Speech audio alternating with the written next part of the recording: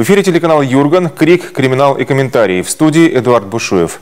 Здравствуйте! Сегодня в программе. Торопилась на учебу. Вместо парты – больничная койка.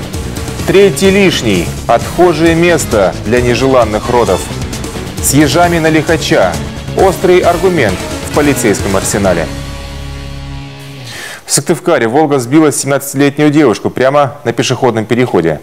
Момент наезда зафиксировал видеорегистратор случайного очевидца.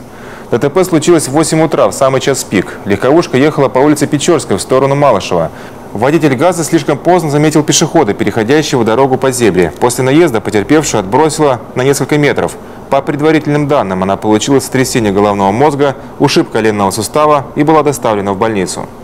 Данный водитель в течение года к административной ответственности привлекался трижды. На момент э, дорожно-транспортного происшествия водитель был трезв. На месте был составлен акт улично-дорожной сети э, в связи с тем, что проезжая часть была не осыпана песком. Водитель «Волги» утверждал, его скорость не превышала положенных 40 км в час. По его словам, девушка появилась перед ним внезапно. Он пытался уйти от столкновения, но ему не удалось сделать это на скользкой дороге. Как стало известно позже, девушка шла в учебное заведение. По факту аварии сейчас проводят проверку.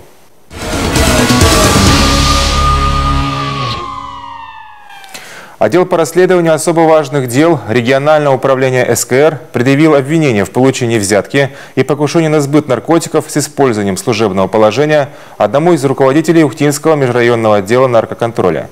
Офицера задержали в результате совместной операции ФСБ и отдела собственной безопасности регионального управления ФСКН поле зрения чекистов и особистов наркоборец попал в сентябре этого года. Для выявления очередного канала распространения дурмана он применил метод оперативной работы, явно выходящий за рамки закона. С целью получения информации по раскрытию преступлений, связанных с незаконным оборотом наркотических средств и психотропных веществ, подозреваемый незаконно передал наркотическое средство массой более 1 грамма через посредника лицу, ранее употреблявшему наркотики. Однако довести задуманное до конца не смог, поскольку сотрудниками УФСБ наркотическое средство посредника было изъято. Высокопоставленного сотрудника взяли в оперативную разработку. Уличили еще и в получении взятки в виде смартфона стоимостью около 18 тысяч рублей. По версии следствия, мобильным коммуникатором оперативного работника вознаградили за то, что он простил наркодельцу, уже задержанному по подозрению в незаконном обороте дурмана, дополнительно выявленный преступный эпизод. После получения взятки сотрудника Ухтинского МРО задержали, а в его рабочем кабинете провели обыск. Начнем? Да. Не, ну начнем, начнем, я предлагаю по часовой стрелке. Вот так, да. Если что-то обнаружите, вы руками, пожалуйста, ничего не трогайте, говорите мне, я фиксирую, следователь изымает. Ну, тут же на месте осматриваем, что, что это такое. Впрочем, ничего уголовно наказуемого в кабинете оперативного работника при обыске не обнаружили. До суда фигуранта арестовали. Давать показания он отказался. Несмотря на малый вес изъятого наркотика, всего полтора грамма, санкция по предъявленным обвинениям крайне суровая. Минимум 10 лет лишения свободы и штраф в 40-кратном размере от суммы взятки.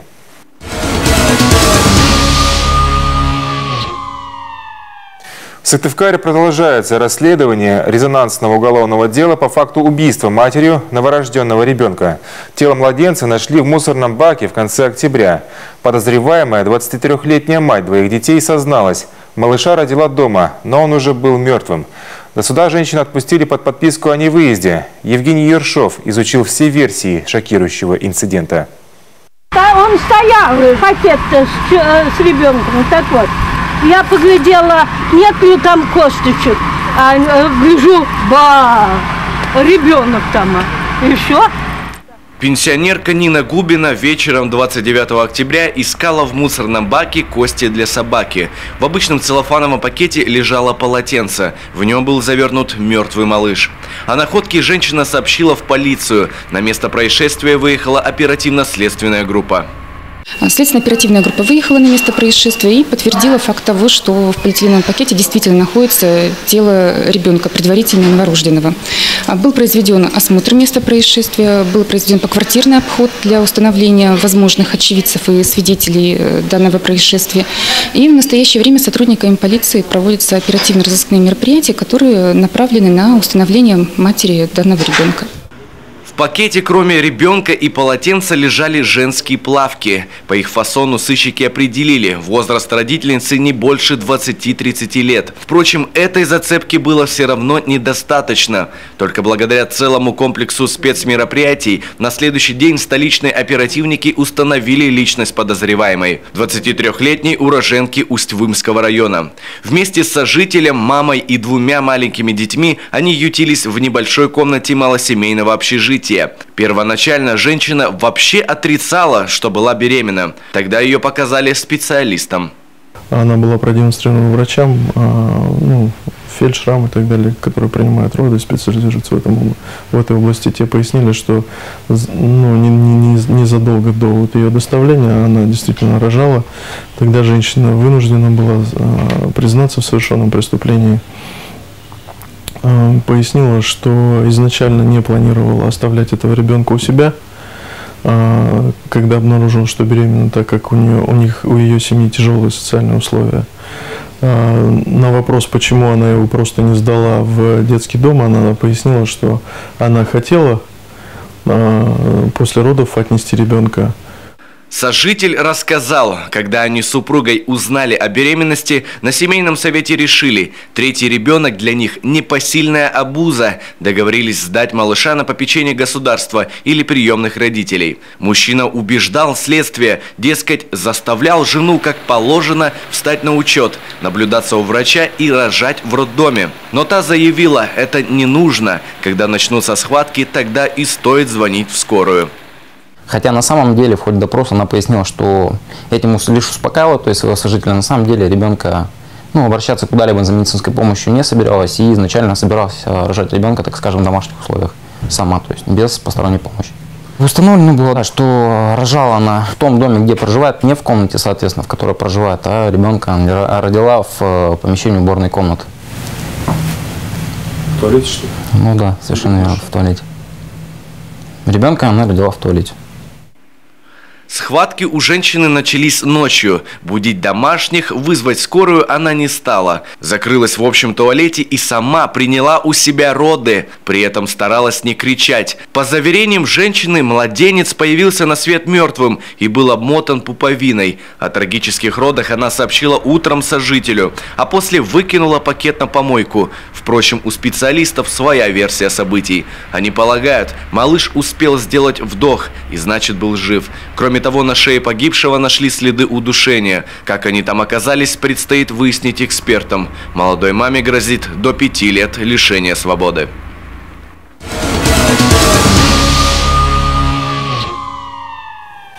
На этой неделе стали известны подробности ночной операции по перехвату пьяного нарушителя в Сыктывкаре. Два экипажа ДПС около часа преследовали «Ладу», чья скорость порой доходила до 140 км в час. Чтобы задержать лихого водителя, силовикам даже пришлось применить спецсредства для принудительной остановки. Оперативное видео в репортаже Евгения Ракина. В три часа ночи на улице Орджоникидзе автоинспекторы заметили подозрительную «Ладу» 15 модели, которая ехала с включенными аварийными сигналами. Полицейские попытались для проверки остановить машину, но водитель не подчинился. Сотрудники стали преследовать данную автомашину. А, неоднократно значит, предъявляли требования об остановке. А, однако водитель игнорировал требования полицейских и продолжал а, удаляться. Значит, э, преследование продолжилось по Октябрьскому проспекту, а, затем они выехали на улицу Димитрова, затем на Сысольское шоссе, и э, водитель автомашины ВАЗ-2115 э, продолжил движение в сторону села Бульгар. Легковушка свернула на объездную автотрассу в направлении Ухты. Позже к погоне подключился второй экипаж. Автопатрули не раз пытались обойти нарушителя, но все маневры полицейских лихач пресекал. Ехал посреди дороги и не давал стражам порядка себя заблокировать. Водитель 15 модели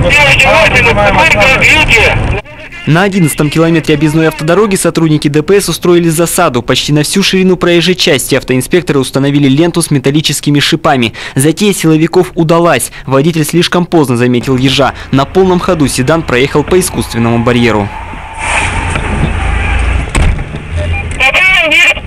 Да, да, попал. Хорошо, молодцы, давайте за нами. Несмотря на пробитое заднее колесо «Лады», машина какое-то время еще продолжала ехать, пока ее все же не остановили. Нетрезвого водителя, 40-летнего электромонтера одной из фирм города, доставили в полицию, а его авто отбуксировали на штрафстоянку. За пьяные гонки мужчине грозит два года лишения прав и штраф в 30 тысяч рублей. А вот за то, что мужчина не остановился по требованию полицейских и пренебрег правилами дорожного движения, ему светит серьезное административное наказание.